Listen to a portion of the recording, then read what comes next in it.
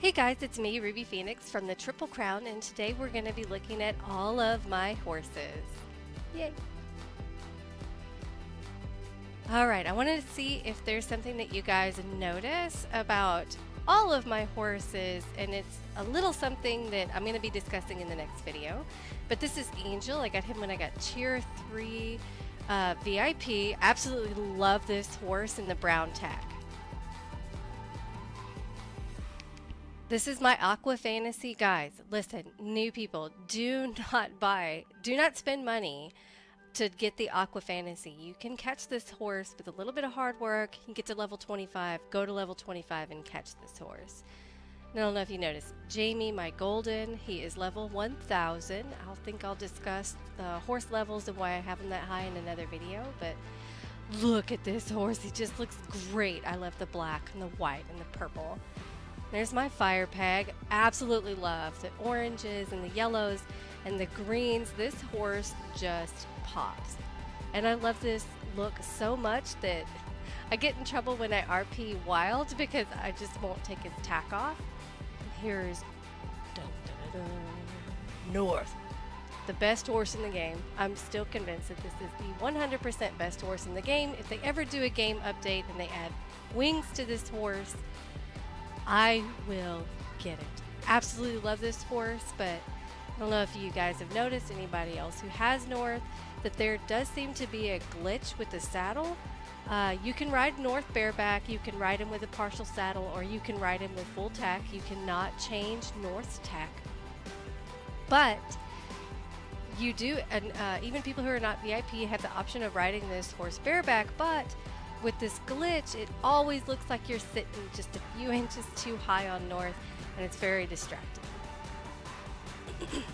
and this one, oh my god, I love this Arabian peg, and this, in this tack, full tack, just looks fantastic. This is another horse. Once again, this is level 25. You do not have to buy this horse. You can catch this horse. Uh, it's another pink. It's another one that you can catch. This horse also looks great with no tack period. In fact, I think most of the horses in this game look a little bit better without tack. Right now we are we are fully set up, full tack on almost every single horse because I've been running a lot of dressage and doing a lot of flying competitions. Here's the white unicorn, always a great looking horse, a great looking horse, a fan favorite, and just looks great in just about every tack that you put him on. Um, the white and this purple peg right here. You once again, you do not have to buy these horses. You do not have to waste your money on gems. Work hard and go catch these horses. It's my Black Beauty peg. Just looks great. Classic horse with the full high level tack. This is my Cosmic Frisian. Looks great in full tack, but like I said, a lot of these horses don't. I think they look best kind of stripped down. Um, I really think that they look best when they're not wearing any tack at all and you just have a really fancy bridle on them. Like I said, I've been running a lot of competitions. I have not been doing a lot of RPing. I have not been doing a lot, whole lot of any of that. I've been working on uh, getting the club ready and uh, just vacation and everything. And I'm talking through some of these horses just because I'm, I don't, I've had them so many times that I just don't care. I mean, I like them. They're fun horses, but you can see their levels down at the bottom. They're mostly just like apple chasers for me. Except this one, I absolutely love this graphite peg. He looks amazing. He looks great in the purple and the pink. But, like all of the draft horses in this game, your player does this when they're riding. And it's very distracting. It's such a beautiful horse. Right, this one is uh, one of my favorites. I'm really hoping to get the peg in this horse. Um, I have no plans on stopping the game, so hopefully one day I'll be able to get the peg of this horse. Such a great peg. Really, all of the club pegs are really quite beautiful, but they're it's very very difficult to get if you look at it. Even if you're in the top 50, you still only have, and you have a level three, uh, sorry, tier 3 chest. And even if you're at like level 50, or at leader or on the leaderboard if you're rank 50 it's really really difficult to to get these horses. It's not it's taken me a really long time to get all these horses. It's another one of my favorites the eagle.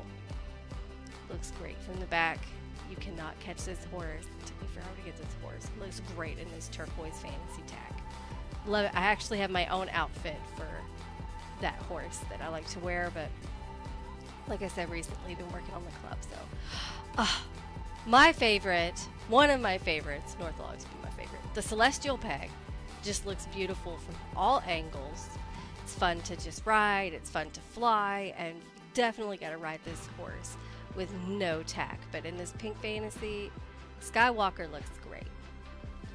And there's Grey Wind, another one of my favorites. I really, really do love the, the draft horses in this game but riding them is kind of complicated and glitchy and when you fly you do this distracting it's distracting uh, distracting enough for me to not want to fly this horse as much as I would love to fly this horse if my player didn't do that and there's my last one my last club horse so anyway guys thanks for watching and that's all of my horses. I'm going to be discussing a little Easter egg that some of you may have noticed in the next video. And if you want to find out more about my club, go down and check the links in the description below.